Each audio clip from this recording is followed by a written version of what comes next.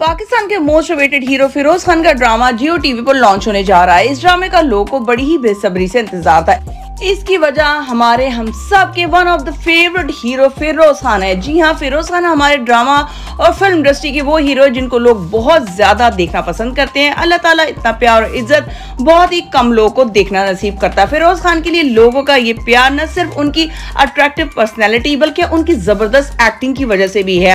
बात करते हैं ड्रामा सीरीज़ खुमार की। खुमार ड्रामे में फिरोज खान के साथ as a heroine Neelam Munir काम कर रही है और लोग इस बात से काफ़ी खुश है कि फिरोज खान को इस ड्रामे में एज अ एंग्री मैन का किरदार नहीं दिया गया है, जो वो अक्सर प्ले करते हैं। इस ड्रामे में फिरोज खान को बहुत ही नर्म दिल और मासूम इंसान दिखाया गया है। ड्रामे की कहानी पुरानी है। फिरोज खान अमीर लड़का और नीलम मुरी गरीब लड़की। फिरोज नीलम के भाई का दोस्त होता है और पहली नज़र में नीलम की खूबसूरती और सादगी देखकर इस पर फिदा हो जाता है।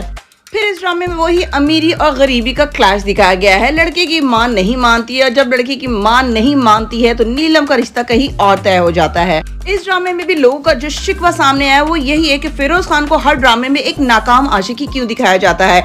अगर फिरोज खान की रियल लाइफ के वो भी देखे तो उनकी रियल लाइफ में भी वो एक नाकाम आशिकी नज़र आते हैं। सजल के साथ उनका रिश्ता, फिर अपनी बीवी के साथ उनके डिफरेंसेस की कहानी, ये सब बातें तो आप लोग बहुत बेहतर जानते हैं। अब करते हैं ड्रामा सीरीज़ नमक हराम की, जो कि इमरान अशरफ का इमरान अशरफ के बारे में आप सब लोग बहुत अच्छी तरह से जानते हैं कि वो हर ड्रामे में मुख्तलिफ़ रोल प्ले करने की कोशिश करते हैं। जैसे कि आप लोगों ने भोला ड्रामा में भोले का किरदार, जो काफ़ी फ़ेमस हुआ था, उसके बाद उन्होंने एक खुसरे का किरदार भी प्ले किया था।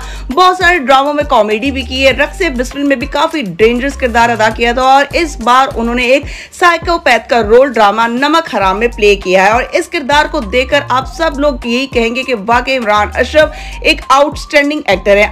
अब लोगों ने ड्रामा सीरीज़ खुमार और नमक हराम में कंपैरिजन करना शुरू कर दिया है। एक तरफ़ इमरान अशरफ, जो कि कुछ भी हासिल करने के लिए किसी भी हद तक जा सकते हैं। दूसरी तरफ़ फिरोज खान एक मासूम और सीधे सादे अमीरजादे का किरदार प्ले कर रहे हैं। अब देखते हैं कि कौन सा ड्रामा कौन सा किरदार लोगों के दिलों में ज़्यादा जगह बना पाता है।